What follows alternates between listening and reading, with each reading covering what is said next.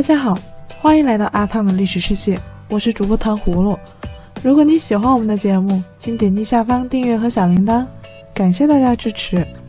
靖康二年四月，金军兵临东京汴梁城下，经过两次围城，最终汴梁城破，金兵所到之处，生灵涂炭，哀声连天，惶惶北宋自此转入灭亡。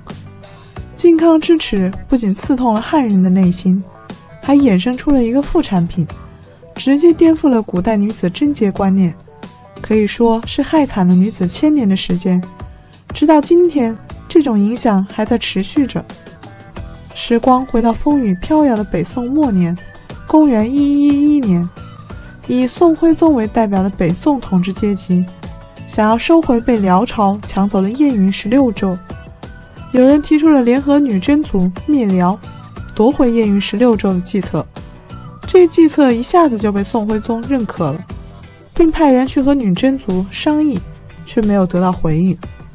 到公元一一一八年的时候，女真族已经建立了金国，而且辽金两国战争已经是打得如火如荼。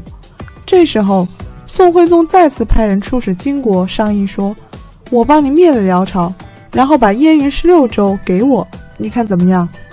金国一看，这和我的目标没冲突啊，就划定了宋朝负责攻打燕京，金朝负责攻打中京大定府等地。辽朝被灭后，燕云地区归宋朝所有。作为交换，把以前每年上贡给辽朝的岁币给了金朝。结果这一打不要紧，彻底的把宋朝弱爆的军事实力显露的彻彻底底。宋朝没能把燕京打下来，反而又被岌岌可危的辽朝军队修理了一顿。最后还是靠金朝自己把燕京打了下来。燕云地区被金朝占领后。北宋要求践行盟约内容，金朝说：“你们这不是光耍嘴皮子吗？没出力还要求按合同执行。”宋朝无奈，只能每年再多交一笔钱，换回了燕云地区。没想到的是，燕云地区的人口都已经被金朝掳回了东北做奴隶，留给宋朝一座满是残垣断壁的空城。金朝最初并没有想吞并宋朝。主要是刚灭了辽朝，得到了大量的人口和土地，暂时也没想着再去扩张，所以最初和宋朝之间的相处还是挺和平的。承诺的合同内容该执行的，金太祖也执行了。结果后来北宋自己单方面频繁违约，给金朝有了攻打宋朝的借口。同时，通过几次的接触后，金朝彻底的看清了宋朝内部腐朽不堪。军事力量不堪一击，但是物产丰富的面目，这不就是个软柿子吗？于是，在公元一一二五年，金朝开始南下攻打宋朝。经过几次的短兵相接，每次都带走了宋朝的一部分财物、人口。宋朝对于金朝的攻打根本没有有效的抵抗。在第二次开封之战后，公元一一二七年。战争以宋徽宗和宋钦宗被俘结束，北宋灭亡。北宋灭亡后，不仅是皇帝被俘，而且所有皇子、妃嫔、公主之类的皇亲国戚，还有宫女、工匠等人口，不下十万，都被掳回东北做奴隶。这次战争就被后人称为靖康之变。不说徽钦二宗被俘后的生活。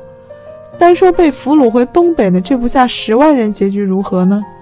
男的做奴隶做苦工，女的命运就悲催了，大都被当作娼妓任人玩弄，尤其是皇室的子女妃嫔，更是被重点照顾。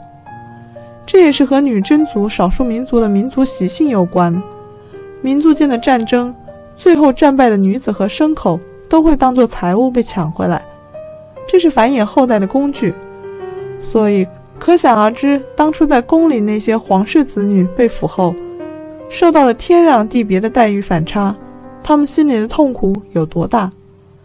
靖康之变的战争不仅给北方的经济和工业发展带来了毁灭，更重要的是，此后带来的思想意识形态上的变化。这种变化让此后数千年的女子备受屈辱。是什么变化呢？在靖康之变发生后。包括皇室女性在内的大量人口被带回金朝老家东北，当做奴隶和娼妓对待。这个耻辱让当时的主流封建儒家思想的道学家们感到耻辱，所以开始逐渐摒弃北宋时期以前模糊的贞操观，由重生命大于重贞洁，变为大力提倡女性的贞洁高于生命的意识形态。北宋以前虽然也提倡贞洁，但是并不反对女子改嫁，而且女子改嫁后也不会受到歧视和不公平的对待。甚至是女子离婚，在北宋以前的社会也是不少见的。中国历史上第一个贞妇是秦始皇时期一个叫巴青的妇人，丈夫死后终生未再嫁。秦始皇为了表彰她的贞洁，为她建立了怀清台。虽然秦汉时期对于妇女守寡后不再嫁表示尊敬，但是并不是反对女性丧夫后改嫁，而且即便女性改嫁后也不会受到歧视。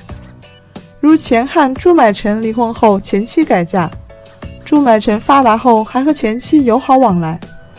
后汉的蔡文姬改嫁三次，也没受到当时人们的轻视。唐代就更不用说了，唐代的思想观念开放，女性对于贞洁的观念也相对宽松，离婚改嫁的例子更是多见。那时候的女性就可以大胆追求自己的爱人，也相当于是自由恋爱了吧。一直到宋朝初中期的时候，关于女性的贞洁观也是保持着宽松的态度。女性离婚改嫁也并不是什么不耻之事。范仲淹的母亲改嫁，王安石的儿媳离婚改嫁，这些都是有史料记载的。可见在这时候的女性并没有必须要守寡、保持所谓的贞洁的必要。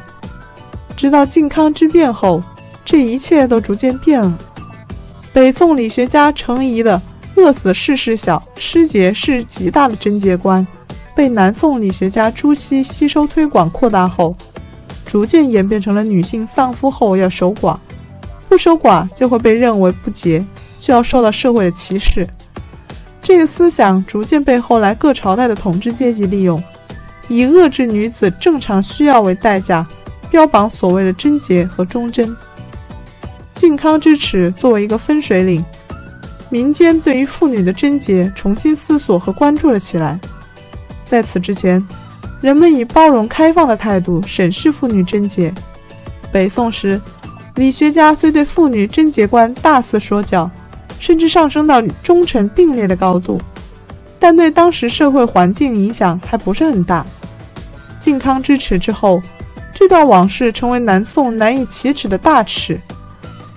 道学家们逐步舍弃了重生存轻贞洁的观念，转而极力提倡妇女舍生命保贞洁。到了后期，这种约束愈演愈烈，女子贞洁逐渐上升到了与人格、宗族名誉息息相关的地位，影响女子近千年。经过宋朝、元朝和明朝统治阶级对这种畸形的贞洁观的推动发展，到了清朝。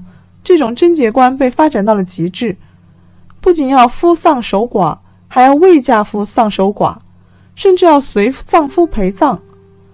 这种贞洁观甚至都写进了清朝的律法里。我们后来经常听说和见到的贞节牌坊，便是清朝表彰贞洁烈妇的奖励。北宋靖康之变以后发展起来的畸形的贞洁观，数百年来影响并残害了不计其数的女性。扼杀了他们正常的感情需要和生理需要，更有相匹配的裹足等陋习，让女子承受了肉体和精神上的双重残害。直到一九四九年，中国那些坑残女子的陋习才被废除。所以啊，现在受穿越类的影视剧影响的小女生们，别总想着穿越回去了，真回去了，那才是绝望的开始。在相当长的一段时期内。女子们在生存与贞洁之间，除了殉节外，已别无选择。五代时期女诗人花蕊夫人在亡国之时，曾写下：“君王城上数降旗，妾在深宫哪得知？十四万人齐卸甲，更无一个是男儿。国之将亡，男儿们没有能力保家卫国，却寄希望于女子守节自尽。”这是很不公平的。